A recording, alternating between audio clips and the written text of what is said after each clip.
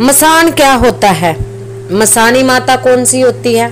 और मसान का इलाज क्या है? और किस प्रकार से आप मसानी से छुटकारा पा सकते हैं? क्या इसका कोई परमानेंट इलाज है? कैसे इसको शांत करें? सभी प्रश्नों के उत्तर आपको इस वीडियो के माध्यम से दिए जाएँगे तो वीडियो में अंत तक ज़रूर बने रहें। तो पहले भी हम मसानी के बारे में दो तीन वीडियो में जानकारी दे चुके हैं, परंतु क्या आप जानते हैं, मात्र एक मीठे जल का गिलास?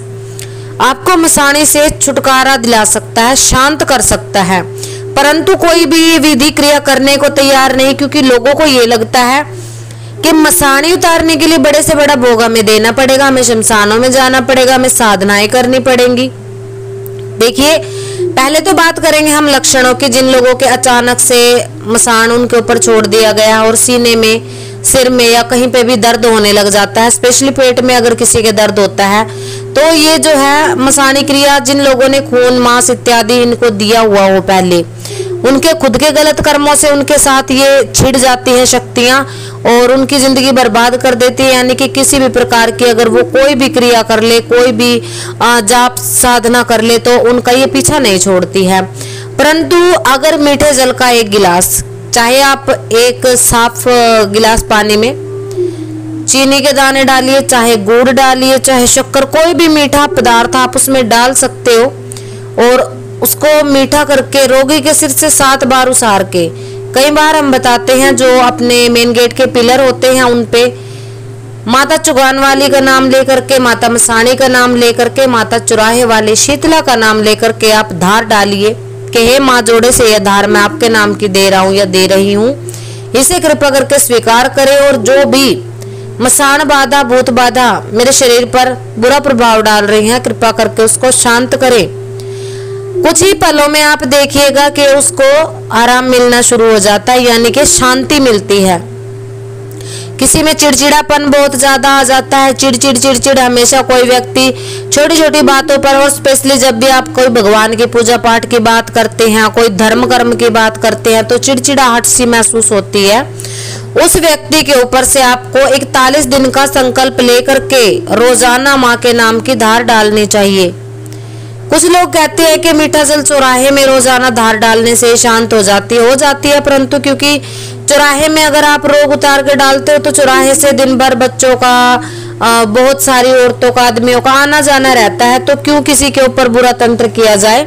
तो अपने मेन गेट के जो पिलर होते हैं, बाहर की तरफ़, अंदर की तरफ़ नहीं डालना आपको ये ये बाहर की तरफ़ डालना होता है।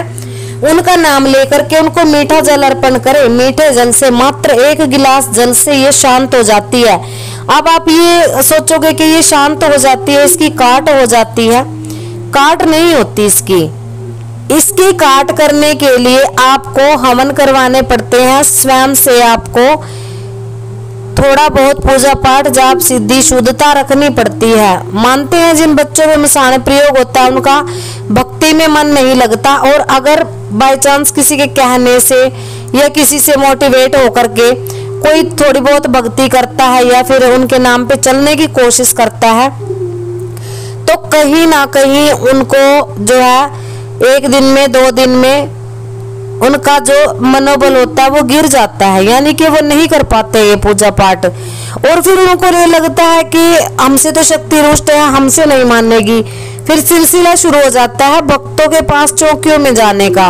और चौकियों पे जाते हैं तो बहुत सारे ऐसे भक्त बैठे हुए हैं जो इस चीज़ का आपसे मोटा पैसा वसूल कर लेते हैं, यानी कि कुल मिलाकर के ये रोग लगाया ही आपको बर्बाद करने के लिए जाता है। कई लोगों की स्वयं की गलतियों से ये रोग उनको छिड़ जाता है। यानी कि बहुत सारे लोग क्या करते हैं, किसी भी अनजान, यानी कि जो गुरु के रूप में गुरु घंटाल, उनको गलत भोग दे देते हैं। यानी कि कहीं ना कहीं तामसिक भोग पर शक्तियों को चला देते हैं। अब जिस शक्ति ने खून या मांस का भोग ले लिया। वो शक्ति फिर जो सात्विक और पूजने योग्य शक्तियों में नहीं आती, वो शक्ति तो बुरा करने वाली ही शक्तियों में आती है। तो जो लोग इस तरह की हरकतें करते हैं कि एक चौराहे में ये चीज़ डाल दी, शमशान में ये चीज़ डाल दी, और कई लोगों को तो यहाँ तक देखा गया है कि घरों में ही वो ये भोग दे रहे हैं किसी के कहने पे। अब क्या हुआ कि पहले से उनके घर में कोई शक्ति शुद्ध और सात्विक रूप से चलती थी। अब उनको कोई डॉक्टरी बीमारी हो गई, कोई थोड़ा बहुत उनके अंदर कोई सवारी आने लग गई, कोई पेशी आने लग गई। अब वो भक्तों के पास जा रहे हैं, भक्तों को इलाज का पता नहीं है। उन लोगों को भटका दिया गया और तामसिक रूप में उनकी शक्ति को चला दिया, यानी कि घर में ही उनसे तामसिक भोग दिलवा दिए गए, जिससे क्या हुआ कि उनकी शक्ति अशुद्ध हो गई। उनसे रुष्ट होकर के अब वो चाहे कितने भी पूजा पाठ कर ले, मंत्र जाप कर ले, गुरु धारण ले ले तो वो शक्ति जो है उनको शांत नहीं हो पा रही। तो इसके लिए आपको क्या है, माता शीतला और माँ चुराए वाली की सेवा करनी पड़ती है।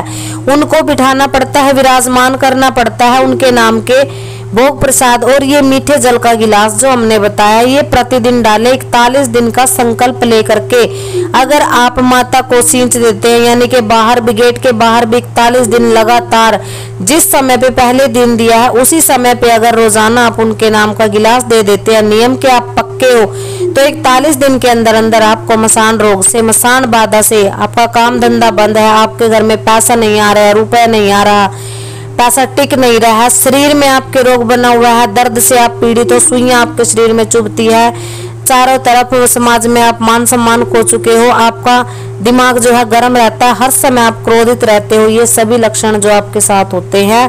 धीरे धीरे आप देखिएगा कि जैसे जैसे आप इकतालीस दिन का ये जो टाइम होता है टाइम पीरियड इसको पूरा करेंगे तो धीरे धीरे आप अपने अंदर भी बदलाव ज़रूर देखेंगे। ये छोटे छोटे आजमाए हुए बुज़ुर्गों के द्वारा बताए गए टोटके हैं, परंतु क्या आज की पीढ़ी इन पर विश्वास नहीं करती है? उनको बड़े तंत्र चाहिए, बड़े जाप और बड़े मंत्र चाहिए। ऐसा नहीं होता, अपनी सोच को बदलो और साधना से, सिद्धि से सेवा के भाव पे आ जाओ। क्योंकि अगर आप सेवा भाव से, समर्पण भाव से किसी भी शक्ति के लिए कोई भी कार्य कर लेते हैं तो वो आपकी शक्ति जो है, आपका साथ ज़रूर देती है। धीरे धीरे धीरे धीरे विश्वास करके आपको एक ही टाइमिंग में, एक ही टाइम पे नियम का पक्का होके ये सिर्फ़ मीठे जल का गिलास उनको देना है। अगर आप इकतालीस दिन लगातार ये काम कर लेते हैं तो आपको मसानी शक्ति से निश्चय ही छुटकारा मिलेगा। जो आदमी सौ प्रतिशत इससे पीड़ित था, वो उसकी घट करके बहुत ही कम से भी कम रह जाएगी और जब आप इस चीज़ को मिनिमम कर दोगे, यानी कि शांत करते चले आओगे तो धीरे धीरे आपका भक्ति में मन लगेगा। अपने भगवान की भक्ति करिए। जो बची कुची 20-30 परसेंट बाधा है, वो आपकी भक्ति से रिमूव हो जाएगी। क्योंकि इसने जो आपके घर के अंदर तामसिकता फैला रखी है, नकारात्मकता फैला रखी है जो बुरे ख्याल आपके अंदर हैं, वो चीज़ जो है, ये रिमूव होती है धीरे धीरे जैसे ये शांत होना शुरू हो जाती है, आपकी जो बंधी हुई बुद्धि है, वो खुलना शुरू हो जाती है। तो इस प्रकार की जानकारी के लिए चैनल से जुड़े रहें, चैनल को लाइक शेयर और सब्सक्राइब ज़रूर किया करें, क्योंकि आपके साथ साथ अन्य लोगों का भी भला हो जाता है। शेयर वीडियो शेयर करने से क्या होता है, अगर किसी के साथ इस प्रकार के लक्षण हो रहे हैं तो आप में एक दूसरे का भला ज़रूर कर देना चाहिए। तो सभी को जय माता की माता रानी सभी का कल्याण करे, सभी के अंधन के भंडार भरे।